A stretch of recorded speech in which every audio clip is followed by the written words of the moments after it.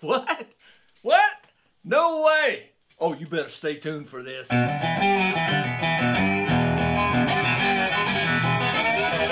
Hey, what's going on? Todd Shaw with another episode of the Sawdust Dude. Hmm. Oh, hey, uh, thanks for joining me again today.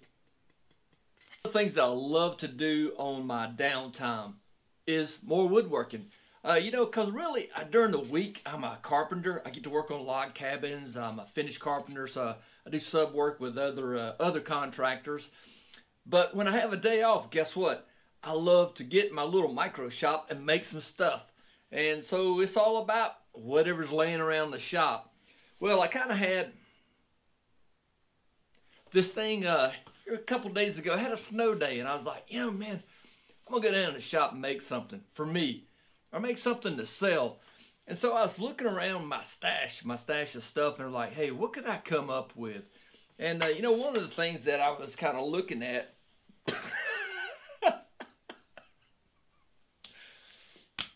one of the things that I was kind of. one of the things I was kind of looking at, I was like, well, what do I have around the shop that I can make, you know, and sell? Or you know what? I may keep it for a while and uh, and then get tired of it and uh, turn around and sell it. I got two traffic lights. I need to do something with it. I want to keep one of them and, and I paid like it was a customer and he had them laying around and I don't know I bought them for like two for $75 and normally you see them for around a hundred bucks you know that that need work.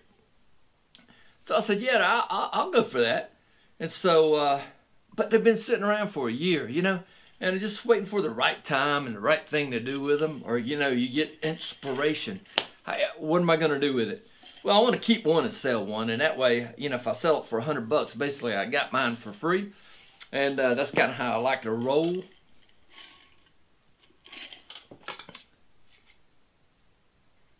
Those things i was like let's do something different with the uh, with the uh, traffic light and let's shoot a video about it. Maybe you'll gain some inspiration from it. So that's what we're really doing today. So thanks for uh, for being um, for being here, and uh, let's check out our project. Yeah, so I got this cedar stump, got all these little crooks and crevices in it. Isn't she a beauty? Crocky. Yeah. So I knew I had the stump, and so I had the traffic light, and I was like, yeah, anybody can like hang it from the corner of their shop and stuff like that. Now let's do something different, you know. Let's make it more better. All right. So I got the stump. So kind of like here's the first step we did. We uh, took all the bark off of it, sanded it down. I'll throw those videos. We kind of did a little time lapse with that, so you'll get to check that out.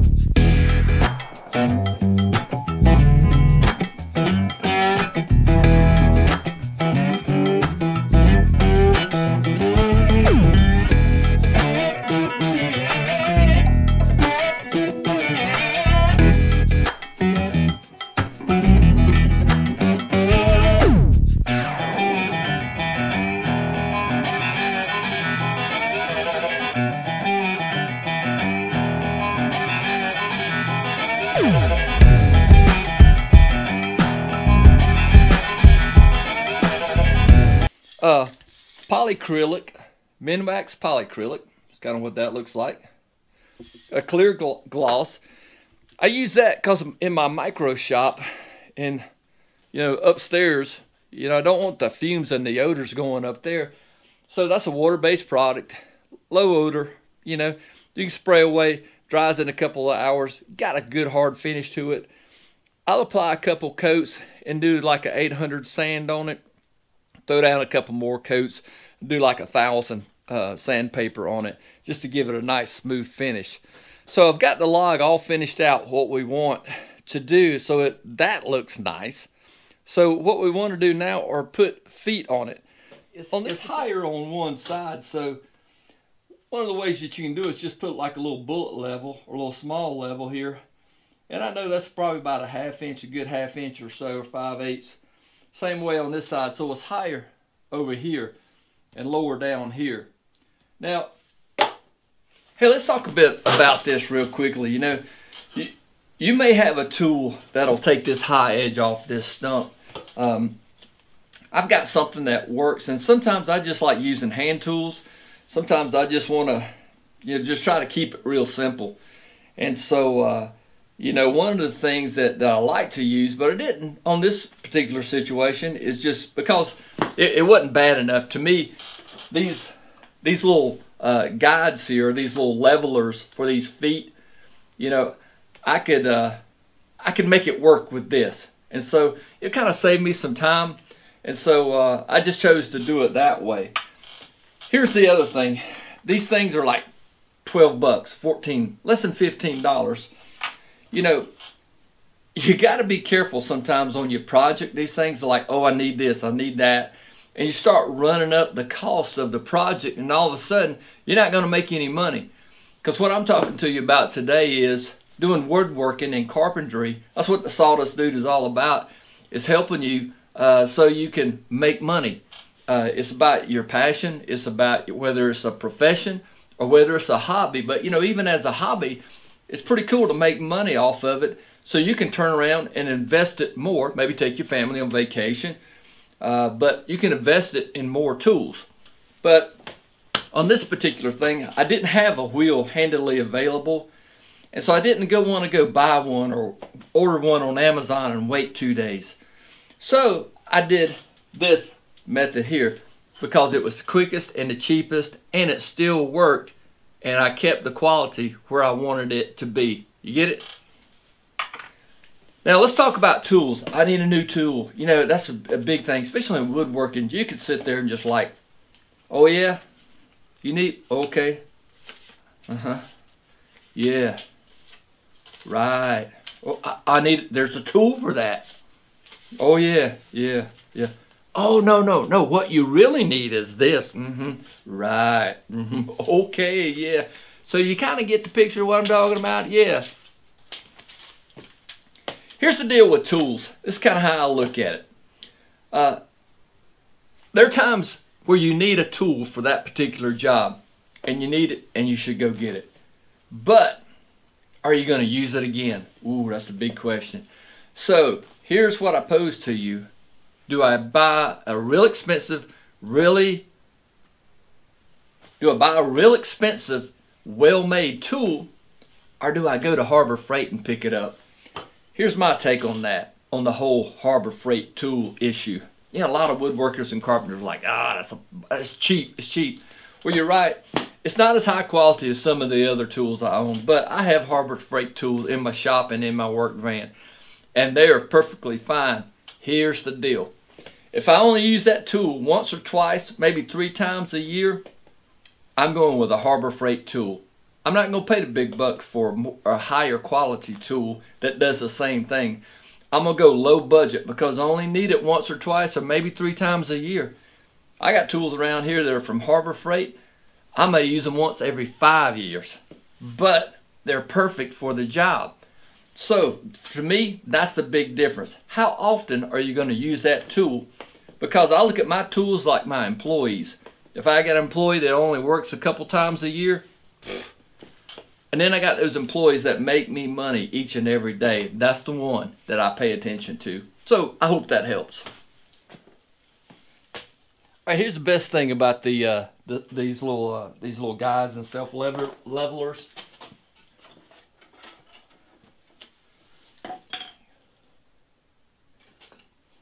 What you want to do is um, find you a drill bit that's just a touch smaller, and I'm going to do I'm going to do a test and make sure that it fits in there. And that's that's kind of snug and and that's perfect because these things have little little fins on them and so here's a hole that I drilled earlier. And so I just take my rubber mallet just kind of sit it in there pop that in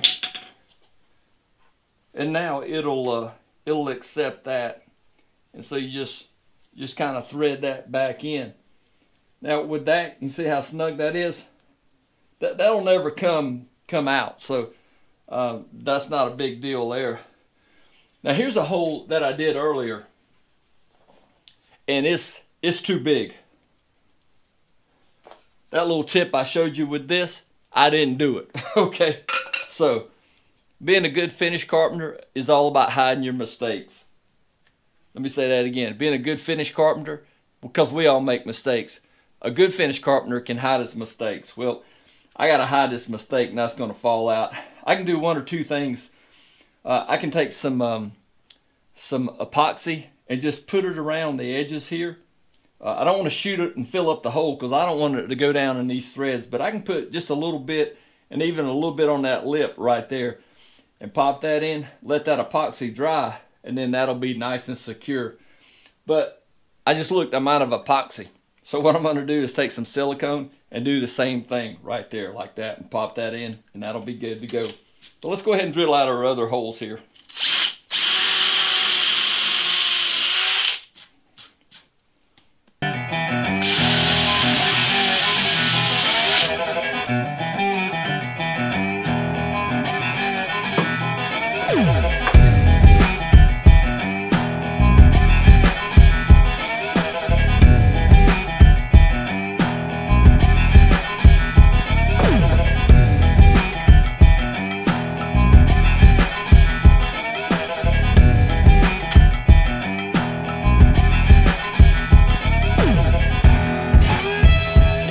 Things I'm doing here once again is just taking my bullet level and going from corner to corner and just making sure uh, that, that I get it fairly level. These on this high side, uh, these on the high side, I just ran these all the way down. But over here, you can see the difference there.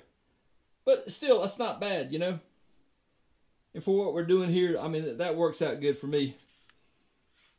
So, you can kind of see that's pretty spot on.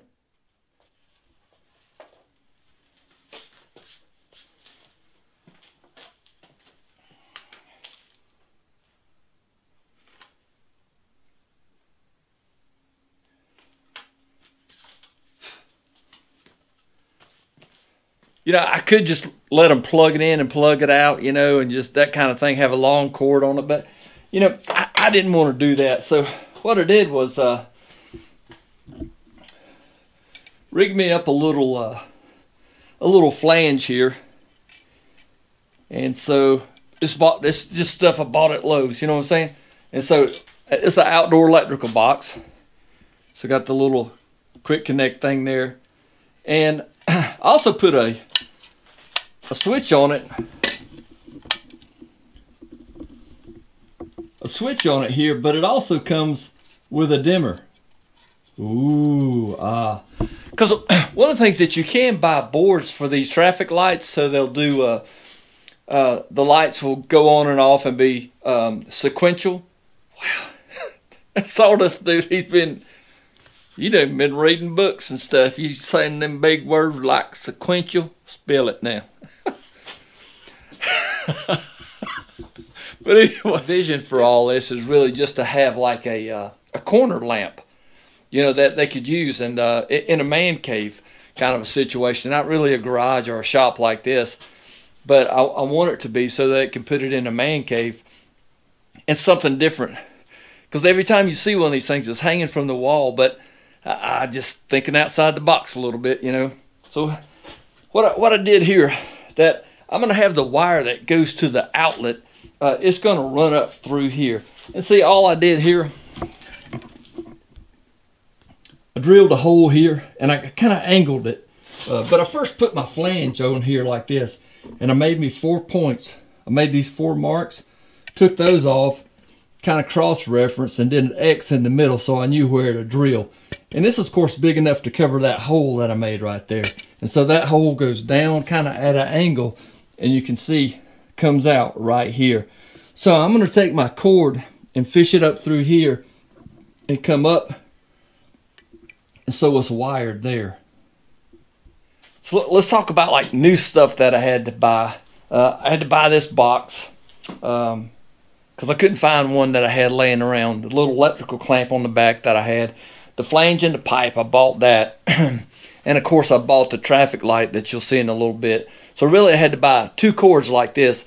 And, and I went with a, it's kind of like an old fashioned, it's uh, almost like a cloth braided kind of, kind of, it's got a retro look. So anytime that I do like a upcycle project, I want everything to just kind of, it's got to flow. It's that whole feng shui kind of thing.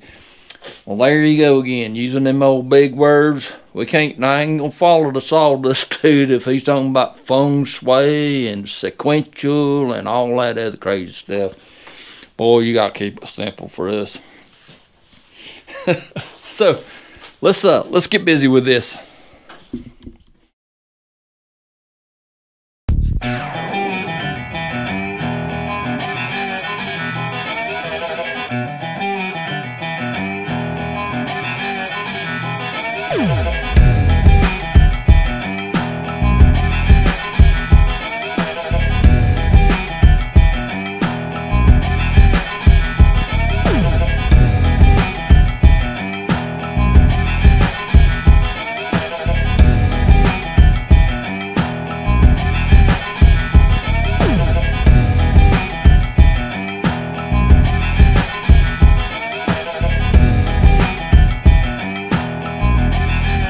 What's amazing about these uh, traffic lights, they're really they're really pretty light. I mean, you know, it, it's all real. Uh, it's it's aluminum.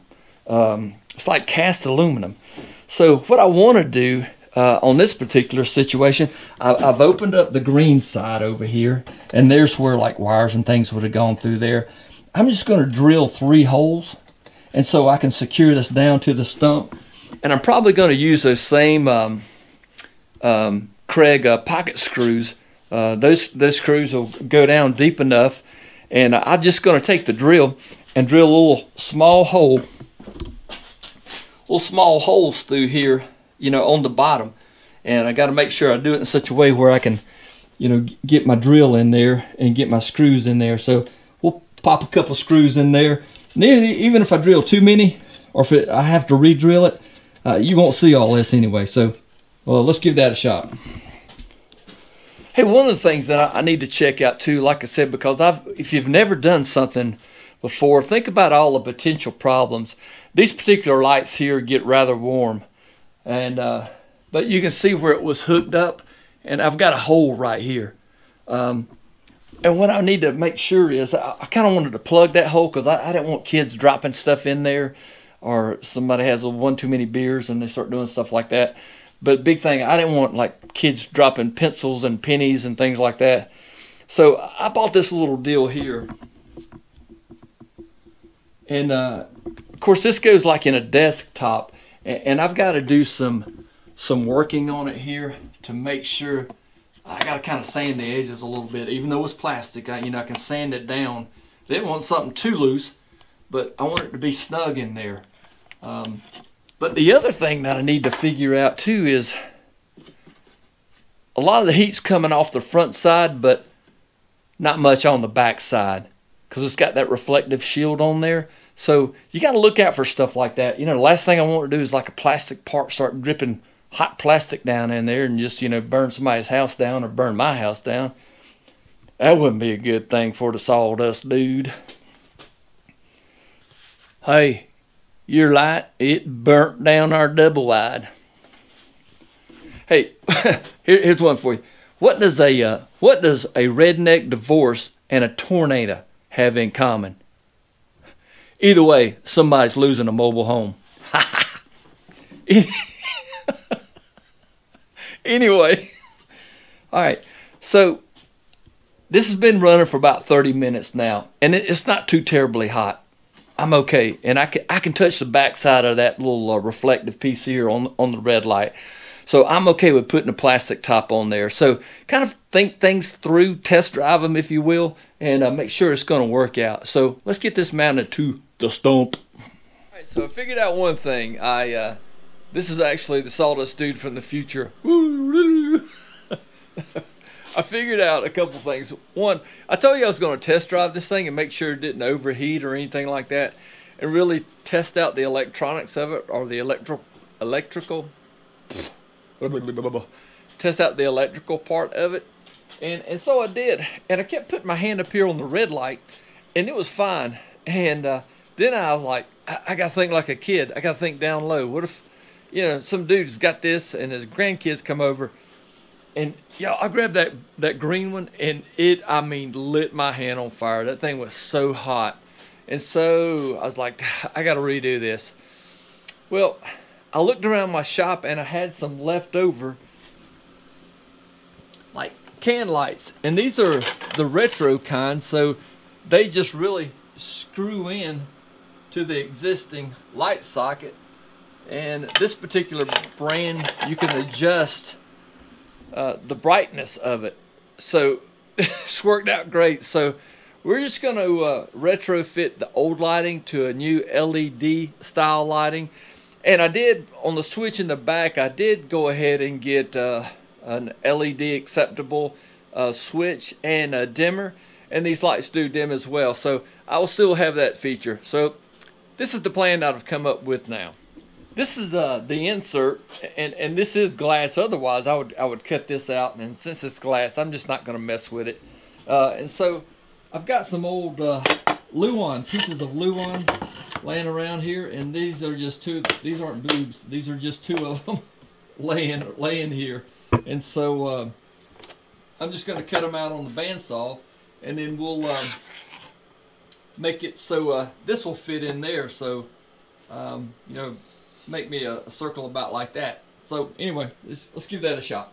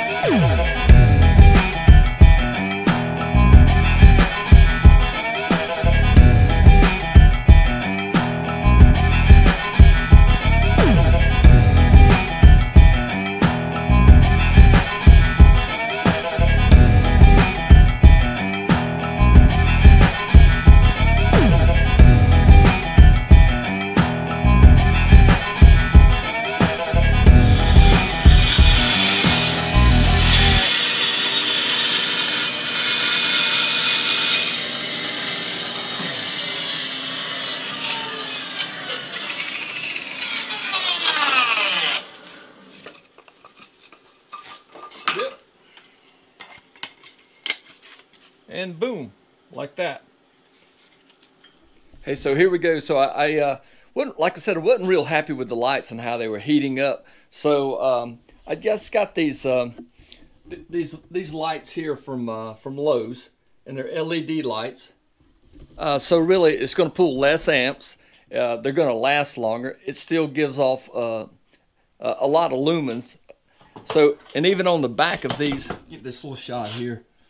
You know, it's got a switch, so you can adjust um, the the brightness of the light. You know, so uh, I'm just totally happy with these. Once again, these are stuff that I had laying around the shop, and I just wound up just siliconing all this in. You know, some of this stuff sometimes is just trial and error, and it may not work out right the first time, but over the years I've done enough stuff like this, you kind of get a an idea, a flair for it, so you know where it works out.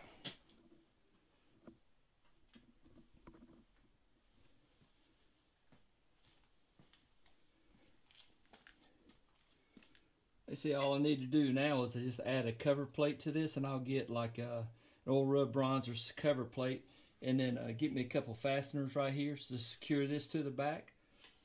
See how the plug comes out the back real nice. Looks all finished out. Get a shot from over here. Got a nice long extension cord to it.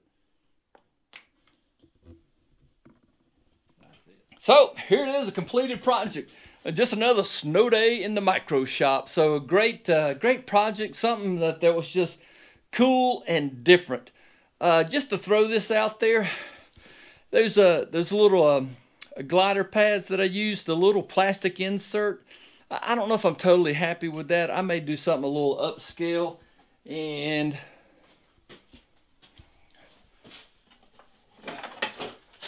I know Lowe's does sell these little deals, and you can kind of screw uh, screw in. Uh, hopefully, those will fit. But uh, you know, on any kind of project like this, where there's not a set of plans that you follow, it's just all in that pretty little head of yours. So uh, you're gonna make mistakes, but you know, just figure it out. Just keep rolling and going with it. And hey, thanks again for watching the Sawdust Dude. Subscribe, like. Let me hear from you. See what? Hey, tell me what you think about this. 300 bucks, and it could be yours. Hey, thanks again for watching the Sawdust Dude. I'll see you real soon. Okay.